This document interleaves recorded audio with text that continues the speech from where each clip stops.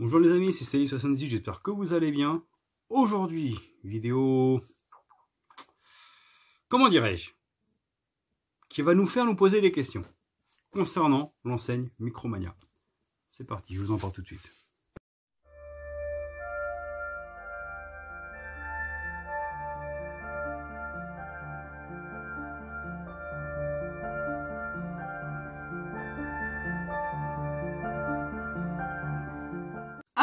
Je tiens à préciser avant tout que le but de cette vidéo n'est pas d'humilier Micromania, n'est pas de les matraquer, n'est pas de les enterrer, et n'est surtout pas un souhait de ma part que cette boîte fasse faillite. Rien à voir.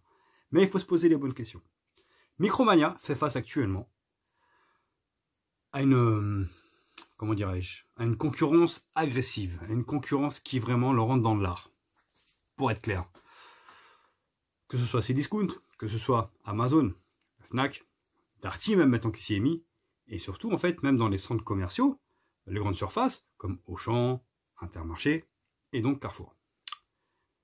Le problème c'est que ces enseignes-là font des prix concurrentiels sur les jeux de Micromania. Par exemple, les jeux de Micromania sont vendus à 69,99, là où on peut les trouver à 50, voire 55 euros, entre 50 et 55 euros en fait, dans ces commerces-là.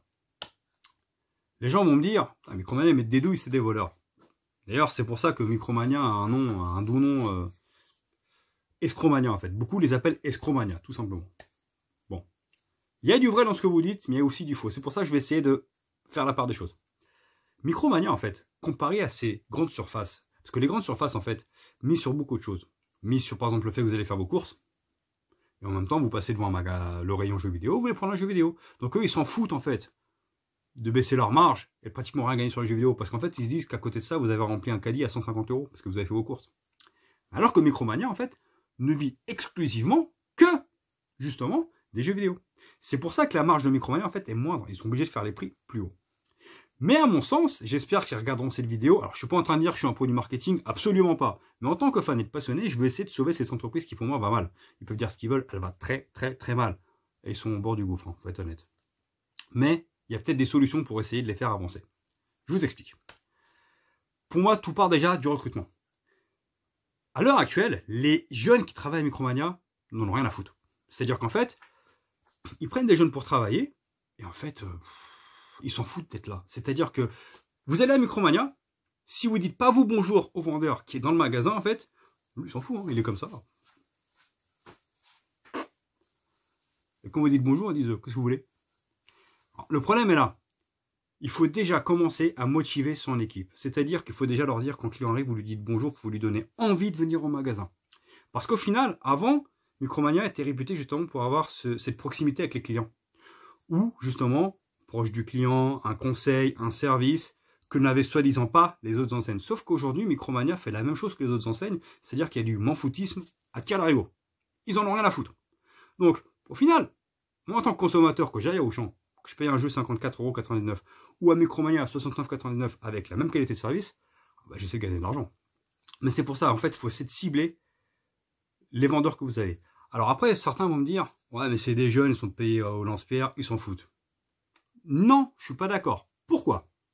Parce que à partir du moment où on signe un contrat de travail, il faut faire son travail convenablement. C'est ça, il manque en fait une qualité d'information et une rigueur du travail qui manque actuellement. Et c'est dommage parce que Micromania, j'ai pas envie que ça se casse la gueule, moi, parce que j'ai grandi avec. C'est le seul magasin qui reste actuellement professionnel en France. Il devrait être au-dessus de tout le monde, il devrait être, au-dessus du game, mais ils ne le sont pas, malheureusement, parce que il y a plein de petites choses qui, qui agacent. Donc moi, j'ai peut-être une petite solution. Hein. Je dis pas qu'elle est bonne ou que j'ai raison, mais réfléchissez bien.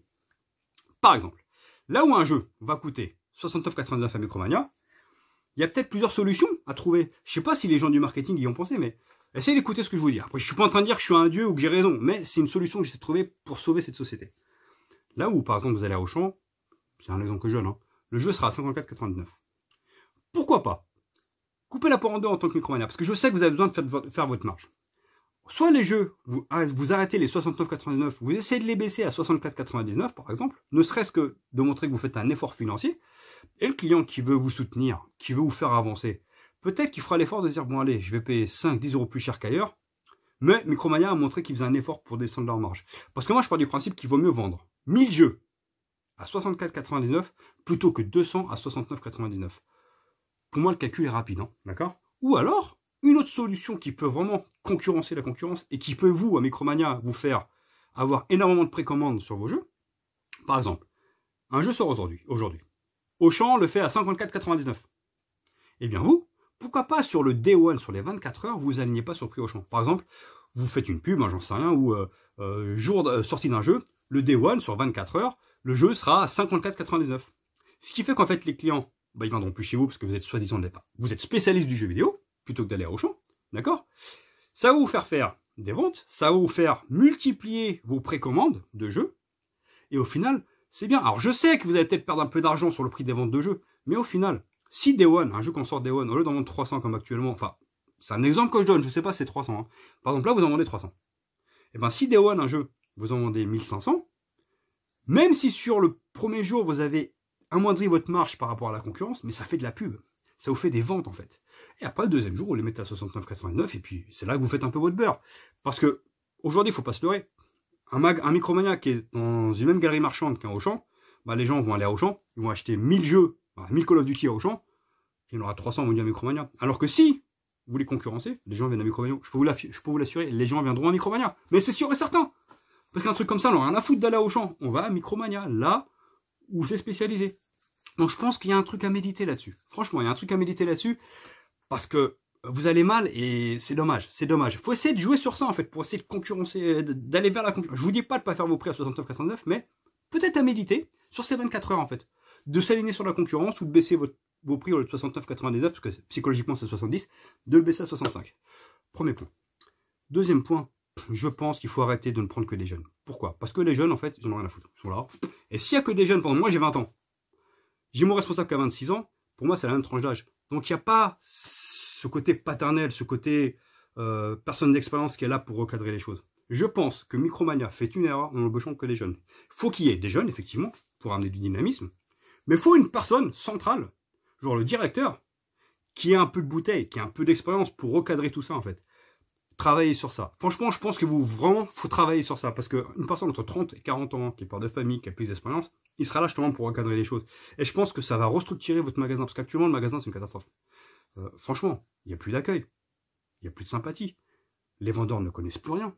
C'est pour ça que je vous dis, c'est pour ça aussi qu'il y a la dernière golade. Il y a le prix, c'est vrai que la concurrence arrive à, à baisser par rapport à Micromania. Mais il y a aussi une qualité de service derrière qui n'y est plus. Et c'est dommage. Donc, le but de cette vidéo n'est pas d'enterrer Micromania, n'est pas de dire que c'est de la merde, n'est pas de dire de ne pas y aller. Mais je pense qu'il faut chercher des solutions. Je parle à vous, là, les gars du marketing. Essayez de trouver des solutions, justement, pour redonner envie aux consommateurs de venir chez vous. D'accord? Je répète, petit point. Trouvez les bons vendeurs, des gens motivés, qui sont pas là juste pour... Euh, bon, bah, je finis à quelle heure, faut que je me casse, d'accord? Des gens vraiment qui sont là pour un conseil.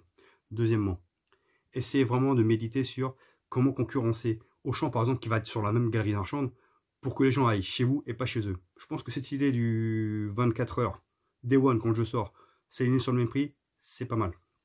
Et troisièmement, voilà, une figure paternelle en tant que responsable. Pas que des jeunes, parce que des jeunes ensemble, en fait, c'est le bordel. Faut un mec qui soit là, hé, tu fais des conneries là. Tu fais ce que je te dis, basta. Et c'est comme ça que vous irez de l'avant. Le côté professionnalisme doit revenir en avant, tout simplement. J'espère que cette vidéo vous a plu. En tout cas, mon but n'était pas de vous froisser ou de dire que Micronia c'est de la merde, mais il faut trouver des solutions parce que là, c'est clair que toute la concurrence que vous avez est en train de vous faire mal. Et il faut l'admettre. Franchement, il faut l'admettre, c'est chaud. Voilà. Likez, partagez, abonnez-vous. Ciao les amis.